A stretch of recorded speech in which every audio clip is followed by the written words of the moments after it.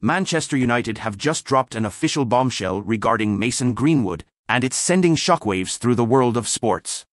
After months of anticipation and speculation, Manchester United has officially wrapped up its internal investigation into the allegations that had been hanging over Mason Greenwood's head. The statement reads Manchester United has concluded its internal investigation into the allegations made against Mason Greenwood. Our process commenced in February 2023, following all charges against Mason being dropped. Throughout, we have taken into account the wishes, rights, and perspective of the alleged victim along with the club's standards and values and sought to collate as much information and context as possible. This has required us to proceed with sensitivity and care to obtain evidence not in the public domain, including from those with direct knowledge of the case.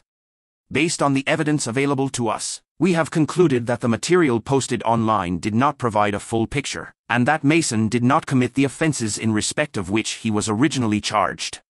That said, as Mason publicly acknowledges today, he has made mistakes which he is taking responsibility for.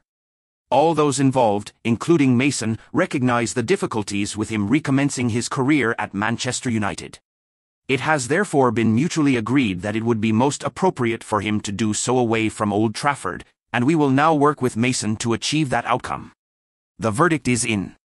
After meticulously analyzing the evidence, after hours of deep introspection, Manchester United has come to a crystal clear conclusion.